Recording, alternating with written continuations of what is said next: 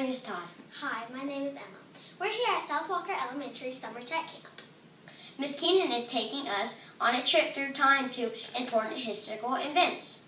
Are you ready to go? In the Renaissance, much later in history, Leonardo da Vinci painted the School of Athens. It gives us into the glimpse of what a Greek city's school may look like. And Athens was a major Greek city, and unlike many other cities of its time, it valued knowledge, art, and culture.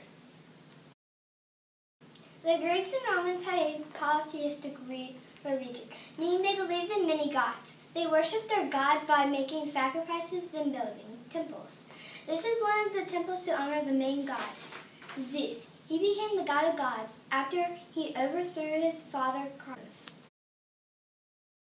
Greek and Roman cities had amazing architecture. You may know them for their columns. There are three main kinds of column styles Doric, Ionic, and Corinthian. Some of the temples are still standing today. Greek and Roman times were filled with culture. The people expressed themselves through painting, sculpting, architecture, and many other forms of art. What were the Salem witch trials? The Salem witch trials were a time where innocent young women and men, girls and boys, put in prison and whipped to death. Young girls and boys were accused of being a witch if one, a cat, two, a mole, three, lived in certain places, four, someone got sick. What was the Salem witch trials? The Salem witch trials was a time that girls were, even if they thought about it or dreamed about being a witch. 100 girls were accused and 20 were actually executed. So in conclusion, the Salem witch trials were a very bad idea. The Boston Tea Party happened on December 16, 1773. It started because the American colonists didn't want to pay for British tea because there was a tax on the tea. How about we head there now? One night, the colonists dressed as Indians and got on three British ships. Once they got on three ships, the Beaver, Dartmouth, and Eleanor. Colonists started to throw tea into the harbor. This is what they call the Boston Tea Party. In order to fight, someone supposedly said fire. When the first shot rang out, others fired killing five colonists. This was one of the events that led to a Revolutionary War. Another thing that led to a Revolutionary War was the Boston Tea Party. It was on December 16, 1773. American colonists were upset with Britain for imposing taxes without their consent. To get back at them, they dumped 342 chests of British tea into the sea. Today, that would be worth more than $1.7 million.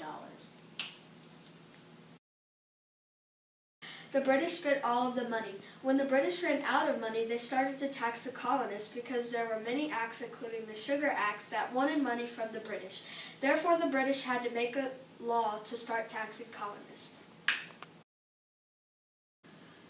The colonists didn't like that law, so the first shots were fired in the Battle of Lexington and Concord on July 29, 1775. That was the official start of the Revolutionary War. The Great Depression started from a stock market crashing from over, from consumer overconfidence. This caused the Great Depression to happen for approximately 10 years. Here are two boys during the Great Depression. They are dirty because their parents cannot afford water to at least rinse themselves. Here are a crowd of kids. They are mad because they are poor and don't have money. They need money to get food and water, so they are holding signs for their dads get jobs. Here are some people that don't have homes because of the Great Depression. They also don't have food or water. The Depression ended after World War II because the stock markets are up, and running again, and people got their jobs back.